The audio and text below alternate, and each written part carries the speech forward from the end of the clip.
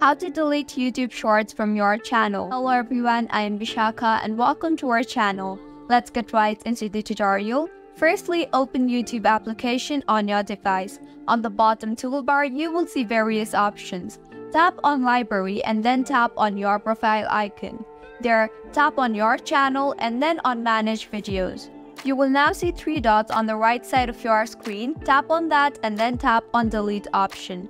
You will get a confirmation pop-up, tap on delete, and with this, shorts from your channel will be deleted. You can delete the other shorts by following these steps too. If you find this tutorial helpful, do subscribe to our channel. Thank you for staying with us until the end.